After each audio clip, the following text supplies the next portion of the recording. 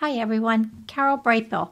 I want to show you something that Google has added to their Chrome browser that has really made working with Chrome a lot easier. It's given you the ability to add icons to your toolbar that are normally hidden within your settings. Let me show you how to access this new feature. When you go to the lower right where it says Customize Chrome, this is where you can colorize your browser. You can add a background theme, whatever you want to do here, make the mode dark.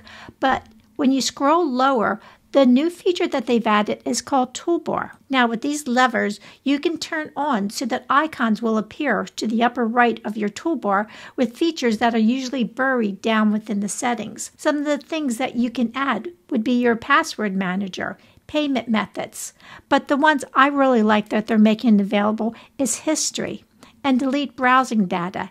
Now you don't have to delve down deeper if you're having issues with your browser. You can just come to one of these icons in the upper right and empty your trash and clear your history. When you look down lower where it says Tools and Actions, you can add a print icon, a translate icon. One of the new things that I see here is to create a QR code. So once you have the icons here now in your upper right, you can grab these and drag them and rearrange them how you want it to appear.